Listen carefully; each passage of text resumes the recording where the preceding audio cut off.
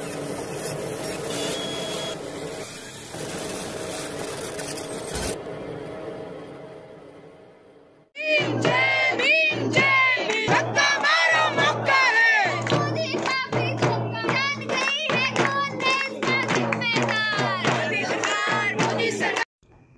JNU से उठी आवाज़ इस्तीफा दे बीजेपी सरकार। मोरबी घटना को लेकर जेएनयू ने किया प्रदर्शन। घटना पर बीजेपी सरकार पर उठाए कई सारे सवाल और आरोप लगाया।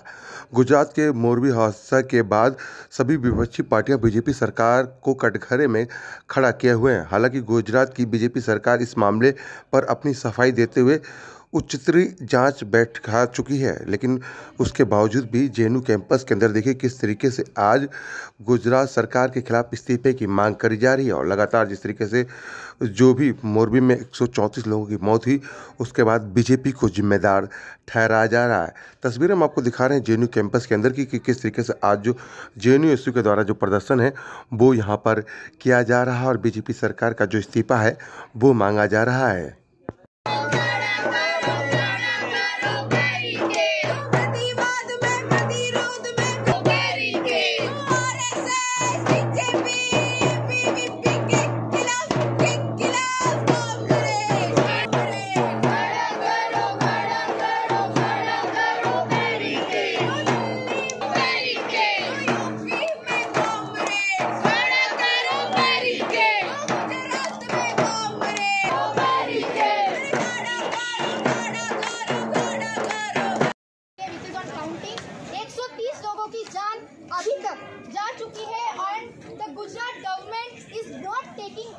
Responsibility, any form of responsibility and has shied away from every possible responsibility आज के समय पे। हम यहाँ पे खड़े होके जब इस बात को बोल रहे हैं और इस बात को समझ रहे हैं कि बीजेपी का जो सरकार है गुजरात के अंदर, बीजेपी का जो सरकार है, जो गुजरात मॉडल को इस देश के अंदर दिखा दिखा के 2014 में बोल के, बोलते हुए सेंट्रल में सरकार में आया है, वही मॉडल आज हमारे सामने, आप सभी के सामने उसका खुलासा हो चुका है कि वो मॉडल क्या है।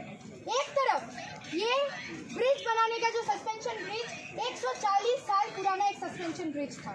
वो ब्रिज एक टूरिस्ट डेस्टिनेशन स्पॉट था गुजरात के अंदर और मोरबी ब्रिज में ये जो कॉन्ट्रैक्ट है उस ब्रिज को ठीक करवाने का, क्योंकि पहले भी ऐसे वहाँ पे प्रॉब्लम्स थे, उसको ठीक करवाने का ऐसा एक कंपनी को जाता है जो कंपनी जाना जाता है बल्ब बनवाने के लिए। आप सोचिए कि जिस तरीके से कॉन्ट्रैक्ट को दिया गया ऐसा एक कंपनी को जिस कंपनी को ब्रिज बनाने या सस्पेंशन ब्रिज बनाने के से कोई लेना देना नहीं था वैसा एक कंपनी को उनके हाथ में एक करोड़ों रुपए का टेंडर दे दिया जाता है। उस टेंडर के आधार पे एक वीक पहले उस सस्पेंशन ब्रिज को without any safety measure without any checking उसको फिर से रीइंस्टेट करवा दिया जाता है। दिया जाता है फॉर पब्लिक व्यू और उसके बाद हम क्या देखते हैं? एक हॉरिफिक वीडियो आता है हम सबके सामने सोशल मीडिया के तहत जहाँ पे लोग जब वो टूरिस्ट डेस्टिनेशन में जाते हैं घूमने के लिए हम देखते हैं कि वो ब्रिज कोलैप्स कर जाता है। स्पॉट खुला हुआ था इट वॉज़ एक्सेसिबल उनके ऊपर बल्ले झाड़ के सरकार ने बोला कि वो उनका रिस्पॉन्सिबिलिटी नहीं है। आज हमें पता चला कि वहाँ पे पूरा आप देखिएगा अगर मोदी मीडिया सुधीर चौधरी से लेके सब कोई उनका एक नैरेटिव जब दूसरे राज्यों में कहीं पे भी इससे पहले भी कोलकाता में ब्रिज गिराया कहीं पे भी हुआ है तो उन्होंने जिस तरीके से सरकारों की तरफ़ एक नैरेटिव बनाया है। Obviously it's the administration it's the government which is responsible everywhere where such mishaps are happening I will not shy away from saying that लेकिन अब जब गुजरात का बारी आया है, भाजपा सरकार का बारी आया है, सामने चुनाव आया है, तब हम देख रहे हैं कि ये पूरा जो इनका इकोसिस्टम है, चाहे मोदी मीडिया का हो, बीजेपी का हो, वो किसी ना किसी तरीके से कोशिश कर ट्रैजिक इंसिडेंट जहाँ पे एक तीस एक सौ तीस लोगों की जान जा चुकी है उसको किस तरीके से ढका जाए? वट इज़ मोर शेमफुल कि जो प्राइम मिनिस्टर है जो आज के समय पे गुजरात के अंदर अपने इलेक्शन कैंपेन को लेके लेते हुए जा रहे हैं no it didn't take him to कर रहे हैं किसके लिए कर रहे हैं क्या वजह आज यहाँ पे जो जे स्टूडेंट्स यूनियन की तरफ़ से प्रोटेस्ट हम लोग रखे हैं वो मेजरली मोरबी ब्रिज में जो हादसा हुई है जो घटना हुई है वहाँ पे 130 लोगों का जान ऑलरेडी जा चुका है। अ, उसके अ, एक तो कॉन्डोलेंस उन परिवारों को अ, लिए उनके साथ खड़े होने के लिए इस दुख के घड़ी में उनके परिवारों के साथ जिनका जान गई है इस हादसे में। साथ साथ गुजरात सरकार का जो ज़िम्मेदारी है उस ज़िम्मेदारी को पूछने के लिए कि एक ब्रिज सस्पेंशन ब्रिज जो 140 साल पुराना है, जिसको हाल ही में एक सप्ताह भी नहीं हुआ है कि उसको फिर से टूरिस्ट डेस्टिनेशन था वो, इसलिए उसको फिर से खोला गया है, ये बोल के कि उसका मरम्मत हुआ है। जिस कंपनी को टेंडर दिया गया था, वो कंपनी जो बल्ब वगैरह बनाता है, उसका कुछ लेना देना नहीं है ब्रिजेस बनाने से या सस्पेंशन ब्रिज बनाने से, या उसका कुछ स्पेशलाइजेशन नहीं है।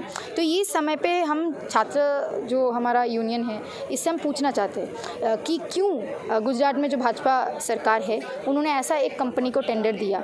जिस कंपनी को कुछ लेना देना नहीं था, एक ब्रिज का सस्पेंशन ब्रिज बनवाने से। दूसरी बात है, इन जो तमाम सारे 130 लोगों की जान गई है, ये कोई छोटी मोटी घटना नहीं है। इसमें एक मॉरल रिस्पॉन्सिबिलिटी लेके गुजरात का जो मुख्यमंत्री है, एवं तमाम सारे भाजपा के जो नेता हैं, जो आज के समय पर इसको ढकने की कोशिश कर रहे हैं, उनको इस्तीफ़ा देने की ज़रूरत है। साथ साथ आज के समय पर हम मीडिया को भी प्रश्न पूछना चाहते हैं, जो गोदी मीडिया है, जो खास करके नरेंद्र मोदी एवं भाजपा के नेताओं के इर्द गिर्द घूमते रहते हैं, उनके डेवलपमेंट के नारे बुलंद करने की कोशिश कर रहे हैं। हम उनसे पूछना चाहते हैं, क्या ये आपके डेवलपमेंट की मॉडल है जहाँ पे 130 लोगों की जान चली जाती है और उसके बावजूद आप मीडिया में आके, आप टीवी में आके उन जिनका जान गया है, आप उन्हीं पे सवाल कर रहे हैं कि उनकी गलती थी कि उन्होंने ब्रिज में चले गए। ये पूछने की ज़रूरत है कि वहाँ पे क्यों ऐसा सिस्टम नहीं था कि अगर ज़्यादा लोग जा रहे हैं तो वहाँ पे अलाउ नहीं किया जाए, या कोई ऐसा सिस्टम जहाँ पे कितने लोग जा सकते हैं उस ब्रिज में, उसको कंट्रोल किया जाए। ये तमाम सारी चीज़ें सिस्टमिक फेलियर है। ये सिस्टमिक फेलियर किससे हुआ है? सरकार की तरफ़ से, उसके प्रशासन की तरफ़ से हुआ है। तो यहाँ पर क्लियरली समझ आता है कि अगर गलती है तो वो प्रशासन की है, सरकार की है, और इन तमाम सारी चीज़ों में सरकार को अपनी ज़िम्मेदारी लेके इस्तीफ़ा देनी चाहिए। अच्छा ऐसी उस मामले को लेकर एफआईआर अभी दर्ज हो चुकी है। कई लोग उसमें गिरफ्तारी हुई है। जाँच भी बैठ गई है। फिर उसके बाद आप लोग क्या चाहती हैं, क्या डिमांड? देखिए, हम ये बोल रहे हैं कि ये कोई छोटी मोटी घटना नहीं है जहाँ पे आप दो तीन एफ़ कर दें, आप नौ लोगों को उठा ले एफ़ करके और बोल दें ये गलती थी। क्योंकि 130 लोगों का जान जाना या एक इंसान का भी जान जाना सरकार की ज़िम्मेदारी के वजह से, सरकार की गलती के तरफ़ से ये माफ़ी लायक नहीं है। क्योंकि अगर सरकार लोगों ने भरोसा करके चुना है तो सरकार को एक ज़िम्मेदारी दी है और ये कोई छोटा मोटा गलती नहीं है। क्योंकि हम समझ रहे हैं कि उस ब्रिज को अभी हाल ही में ठीक करवाया गया प्रधानमंत्री आज घटनास्थल का दौरा किया, घायलों से भी मिली। इसको आप कैसे देखते हैं? देखिए, वो एक पार्ट है। ऑब्वियसली होगा कि मुख्यमंत्री जाएँगे उनके जो पदाधिकारी है प्रशासन के लोग हैं वो लोग जाएँगे मिलने जाएँगे। मैंने फिर से दोहराया वो बात कि किसी को कंपेंसेशन दे देना 140 लोगों का जान चले जाना 130 लोगों का जान चले जाना और उनको कुछ लाखों का कंपेंसेशन देना वो जान वापस नहीं आएँगे। और ये जान गए बिकॉज़ कि सरकार रिस्पॉन्सिबिलिटी नहीं लिया सरकार ने ऐसा एक गलती किया। और उस गलती का अ, सज़ा 130 अ, मा, मासूम लोगों को जिनको उसका पता भी नहीं था उनको मिला। तो बात यह है कि सरकार को रिस्पॉन्सिबिलिटी लेना चाहिए और भाजपा के सरकार को रिस्पॉन्सिबिलिटी लेके इस तहकीकात में जो लोग वो समझ भी रहे हैं कि उनकी गलती थी उस फॉर्म का गलती था। नहीं तो अरेस्ट नहीं होते। नौ लोग जो अरेस्ट हुए हैं, वहाँ पे से चार से पाँच लोग वो फॉर्म जिनको टेंडर दिया गया था, उनके लोग हैं। तो इसका मतलब सरकार ने ही टेंडर दिया ना? ऐसा नहीं है कि कंपनी ने खुद टेंडर ले लिया। तो मतलब सरकार कहीं ना कहीं जिम्मेदार हुए। तो सरकार ज़िम्मेदारी अगर उठा रहा है कि गलत फॉर्म को दिया है, जो सही से काम नहीं किया है तो सरकार को भी रिस्पॉन्सिबिलिटी लेके इमीडिएटली वहाँ पे इस्तीफा देना चाहिए।